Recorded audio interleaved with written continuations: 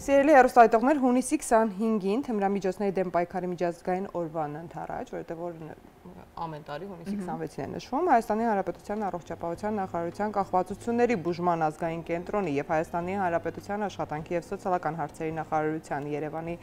Զատիկ երեխաների աջակցության կենտրոնի հետ համագործակցաբար կազմակերպել են ավելի շատ իմացություն, ավելի արդյունավետ կանխարգելման համար խորագրով գիտաժողով։ Եվ գիտաժողովի մասին առավել մանրամասն կխոսենք արդեն մեր հյուրերի հետ, մեր տաղավարում են Կարոլինա Սահակյանը, մենք Թմրանյութի դեմ հասարակական կազմակերպության ծրագրերի ղեկավար, Սիրանույշ Անտոնյանը, Հայաստանի Հանրապետության աշխատանքի սոցիալական հարցերի նախարարության Երևանի Զատիկ երեխաների աջակցության կենտրոնի տնօրեն եւ իհարկե Արտաշես Թումանյանը Հայաստանի Հանրապետության առողջապահության նախարարության կախվածությունների բուժման ազգային ազգային կենտրոնի փոխտնօրեն Բարի լույս։ Բարի լույս։ Շատ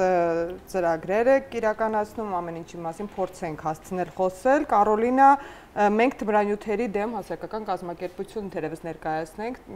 Մեկ անգամ առիթ ունեցել ենք մեր տաղավարում խոսել,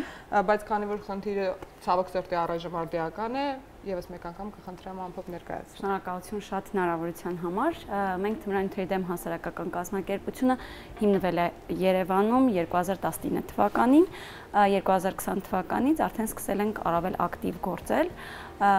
պայմանավորված համավարակով սկզբնական շրջանում ծրագրերը անում էինք on-line արցանց հարթակում եւ մեր առաջին գործընկերը հենց եղել է Երևանի Զատիկ երեխաների աջակցության կենտրոնը միասին արել ենք վեբինարներ մասնագիտական մեր հիմնական խումբը դերահասներ թիրախային խումբը, այսպես ասենք, դերահասներն են, նրանց ծնողները, երիտասարդները եւ մեր բոլոր ծրագրերի կենտրոնում իրազեկման մակարդակի բարձրացումն է։ Ինչ միջոցներով՝ մշակութային, կրթական, առողջապահական, սպորտային ձեռնարկների միջոցով։ Եվ արդյունքներ արդեն ունենք։ Կարծում եմ, որ արդյունքները մի քանի տարի հետո իրենց զգացնել կտան, բայց այն հանգամանքը, որ ավելի շատ կազմակերպություններ են մեզ հետ համագործակցում, ինչպես նաև պետական հաստատություններ, նախարարություններ եւ գերատեսչություններ,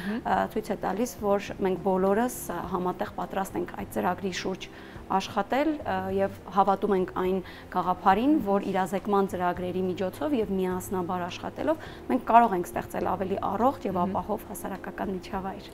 Հետաքրքիր Երևանի Զատիկ երեխաների աջակցության կենտրոնի հետ համագործակցությունը, հա, թվում է երեխաների կենտրոնը, բայց փաստորեն համագործակցում է թմրանյութերի դեմ պայքարող կազմակերպության հետ։ Ինչու՞ Ինչու, որովհետև Զատիկ աջակցության կենտրոնը նաև աջակցություն է տրամադրում կյանքի դժվարին իրավիճակում հայտնված երեխաներին, այդ թվում նաև այդ թվում նաև թմրանյութերից կախվածություն ունեցող, ալկոհոլից կախվածություն ունեցող երեխաներին, իրենց ընտանիքներին, ինչպես նաև այն ծնողներին, ովքեր ունեն կախվածություն, իրենց երեխաներին է աջակցություն տրամադրում, հա, նաև ոչ միայն, բայց ինչ որ մի ուղղությունը մեր նաև թմրանյութերի կախվածություն ունեցող երեխաների եւ ընտանիքի աջակցություն տրամադրելն է այդ թվում մենք աջակցություն ենք տրամադրում սոցիալ հոգեբանական Երեխաներ դեռահասները իրենք նաև երեխաներ են, սոցիալ հոգեբանական աջակցություն է տրամադրում, սոցիալական աշխատողը ուղղորդումներ է իրականացնում, հոգեբանը հոգեբանական աջակցություն,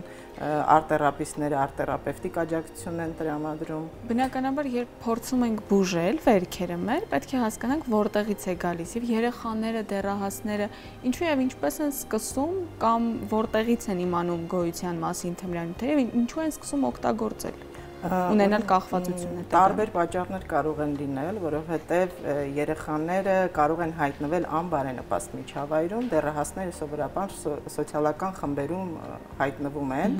նմանատիպ եւ ազդեցությունների տակ են ընկնում, քանի որ նրանք ներշնչվող են եւ ցանկություն ունեն, որպեսզի իրենց ընդունեն, այդ ինքնահաստատման ձգտումն է նրանց մոտ ավելի վառ եւ լինում են այնպիսի մեծահասակներ մարդիկ, որոնք երեխաներին ներգրավում են համապատասխան հակասոցիալական խմբավորումներում եւ օգտագործելով շահագրգռում շահագրգռում են այդպես։ Կարևոր է նաեւ ասել, որ բնականաբար դեռահասների շրջանում առաջին անգամ մեկ անգամ փորձեմ խոստանում եմ, չեմ փորձի, շատ է հնչում, բայց բնականաբար հետագայում շատերի մոտ հենց կախվածություն է առաջանում ու ինձ հետաքրքիր է մենք հիմա փորձենք մեր եթերում նախ իրազեկ իրազեկել հերոստադիտողներին, երիտասարդներին ու նաև փորձել հասկանալ ու ներկայացնել, որոնք են վտանգավոր եւ կորցարար կորցարար ազդեցությունները եւ հետևանքները, այո։ Դե հետևանքները թմրանյութերի Վախացնենք էլի կորցանարար հետևանքները ո՞ն է։ Հիմա ասեմ, որ այդ միջազգային օրը, որը նշվում է թմրանյութերից կախվածությունների եւ ապօրինի շրջանառության դեմ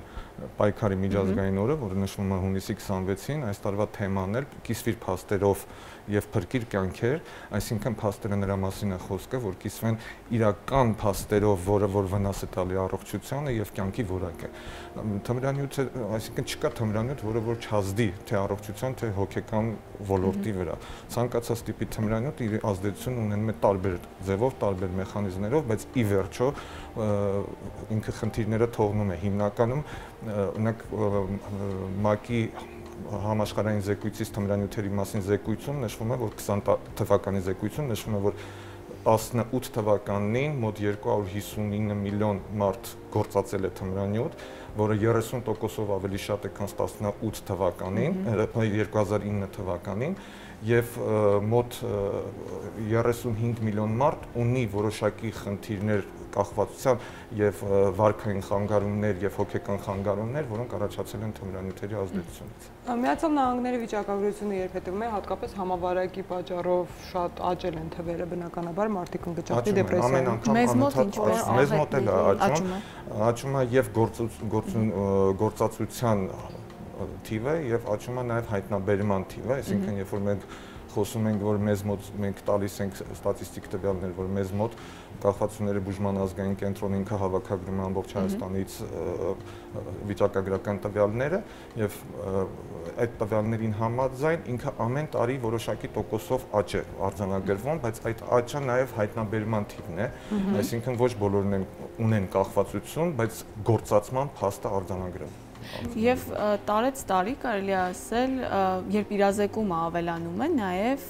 մարդիկ ինքնավստահություն են ձեռք բերում, այսպես հավաքում են իրենց ուժերը եւ դիմում են, չէ, իրենց խնդիրները բարձրաձայնել։ Դիմելիությունը աճել է գոնե, մարդիկ ուզում են աճել, այո, դիմելիությունն էլ աճել, դա կախված է նաև որակից, ինչ ծառայությունների որակ է տրամադրում։ Մենք ներկայումս մեր ծառայությունները ել ավելի բարելավել ենք մենք ունենք նաև սոցիալ-հոգեբանական մեծ աջակցություն, հոգեբանների թիմ, սոցիալական աշխատողների թիմ, որոնք աշխատում են արդեն բուժում ստացած հիվանդների հետ, ընտանիքի անդամների հետ եւ փորձում ենք անել ամենին ամենը, որպիսի զերծ մնան թմրանյութերի գործածումը։ Այստեղ ուզում եմ հավելեմ, որ դիմելիությունը ինչու է նաև աճել, որովհետև վստահությունն է ավելացրել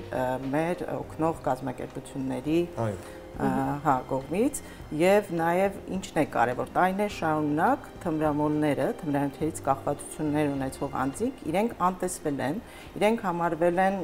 հակահասարակական ինչ որ էակներ եւ ոչ ոք չի ցանկացել նրանց ինչ որ աջակցություն որպես այդպեսին ցուցաբերել վերասոցիալականացում իրականացնել ներգրավել նորից հասարակական աշխատանքներում եւ այլն հիմա նրանց ընդունում ենք որպես մարդիկ ովքեր ունեն աջակցության եւ օգնության կարիք եւ ովքեր կարող են դուրս գալ այդ ամենի միջից փորձում ենք հասկանալ նրանց, հա, իսկ առաջ այդ էմպաթիկ դրսևորում, այդ ապրմակցումը այդքան ուժեղ չի եղել մարդկանց եւ հասարակության կողմից։ Իսկ հետագայում հասարակություն ներգրավելուց հետո նրանց աշխատանքի հարցում կամ դպրոցների երեխաների դեպքում դպրոցներ ներգրավելու հարցում այս կողմից էլ օգնություն ստանում են նրանք։ Բնականաբար գոյություն ունի պրոբացիայի ծառայություն, որը հենց զբաղվում է դրան դրանով, վերասոցիալականացում է իրականացնում այդ շահառուների, ովքեր որ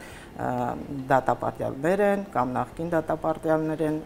դրանով զբաղվում են հենց իրենք, աշխատանք են տրամադրում, ներգրավում են տարբեր սոցիալական ինչ որ կառույցների աշխատանքներում եւ այլն։ Ահա, բնականաբար մեր կոչը մեկն է, հերո մնացեք թմրամիջոցներից կամ եթե արդեն ցավոք սրտի կյանքի բերումով հետևանքներով օգտագործել եք ու հիմա հասկանում եք որ պետք է կանխել հենց այսօր դիմեք համապատասխան մասնագետներին, այո, Եվ խոսենք սպասվելիք միջոցառումների մասին, նշեցի կրթական, մշակութային տարբեր միջոցառումներ են սպասվում ներկայացնենք դրան ու նաև վերջերս դեռահասի հետ թմրամիջոցների կորցանարար հետևանքների մասին հետաքրքիր սեմինար ունեցաք։ Այո։ Եթե ժամանակը քիչ է, բայց փորձենք ներկայացնել։ Արագ ներկայացնեմ։ Ուրեմն երրորդյա միջոցառումների շարք ենք նախատեսել վերտարության վերտարությունը հետևյալն է ավելի շատ իմացություն ավելի արդյունավետ կանխարգելման համար եւ որովհետեւ մենք հավատում ենք, որ այն բոլոր մասնագետները, ում որ մենք հրավիրել ենք եւ պատրաստակամություն են հայտնել իրենց զեկուցումներով ներկայանալու մեր միջոցառումներին, մենք հավատում ենք, որ իրենց գիտելիքները եւ փորձը կիսելով մենք կկարողանանք մշակել այնպիսի արդյունավետ իրազեկման ծրագրեր, որ կկարողանանք այս խնդիրները որոշ չափով հաղթահարել։ Երեք օրյա միջոցառումներ են, առաջին միջոցառումը հունիսի 25-ին է, գիտաժողովն է, որին զեկուցումներով ներկայանալու ինչպես նախարարությունների, այնպես էլ հասարակական եւ միջազգային կազմակերպությունների ներկայացուցիչներ, հոգեբաններ, երկրորդ օրվա միջոցառումը իրականացնելու ենք առողջ ապրելակերպի խրախուսման նպատակով եւ համագործակցում ենք Երևանի մարզասրաններից մեկի հետ եւ այստեղ լինելու են ակտիվ մարզումներ եւ երրորդ օրը նորից եզրափակում ենք սեմինարով այո սեմինարն էլ այսպես մի տեսակ հետաքրքիր անուն ունի էնդորֆին թե մորֆին նաև խոսվելու է հենց սպորտի եւ մարզվածության արդյունքում մեր օրգանիզմում տեղի ունեցող փոփոխությունների հետ վերաբերյալ ու հիմնական նպատակը հենց գիտելիքահեն կանխարգելում ապահովելն է։ Իսկ ինչ վերաբերում է դեռահասներին, դեռահասների վերաբերյալ, այսինքն իրենք միշտ մեր ուշադրության կենտրոնում ենք, որտեղ այդ ամենակարևոր տարիքն է այն շեմն է, երբ առաջին անգամ փոխվում են։ Այո, զգայուն տարիք, նուրբ տարիք։ Եվ հենց մեր առաջին սեմինարը եւ ընթացքում նաեւ վերջին սեմինարը հենց այդ թեմային էր անդրադառնում ոլորտի տարբեր առաջատար մասնագետներ ներկայացում են իրենց զեկուցումները եւ հետաքրքիր քննարկումներ, հարց ու պատասխան է տեղի ունենում Այսքանը։ Գիտաժողովի կարևոր կետերից է նաև, որ մասնակցում են այնպիսի մարդիկ, ովքեր որ նախկինում օգտագործել են, հա, թմրանյութեր։ Եվ իրենց փորձն։ Այո, իրենց փորձն են ներկայացնելու եւ որքանով մենք որքան էլ մենք ցանկանում ենք նրանց ապրումակցել, հասկանալ նրանց, անմիջականորեն չեն կարող տեսնել այն, ինչ որ իրենք անցել են այդ պահով կարևոր է որ իրենց շուրթերից լսենք անմիջապես իրենց պատմությունը։ Այո, եւ մեկ մտքով ապրենք, հատկապես դեռահասներին ու բոլոր բոլորին ասենք, որ թմրանյութերը ոչնչացնում են մեր օրգանիզմը մեկի մոտ գուցե մի քանի օր տևի, մյուսի մոտ մի քանի տարի, բայց միևնույն է արդյունքում ոչնչանալու են մեր օրգանները, այնպես որ կյանքի որակն անդրում։ Այո, հետևեք առողջ ապրելակերպին, զբաղվեք սպորտով, մի օգտագործեք թմրանյութեր, ալկոհոլ եւ ծխախոտ, մի անգամից այդքան ավելացնել։ Ալկոհոլ չօգտագործելը հնարավոր չի չափի մեջ։ Չափի մեջ, շատ լավ։ Մատնագետը եթե ասում եմ, չափի մեջ վաղը երեկոյան կարելի է ուրբաթ։ Շնորհակալություն, որ սկսեցիք մեզ հետ, մենք Շնորհակալ ենք շնորհակալության։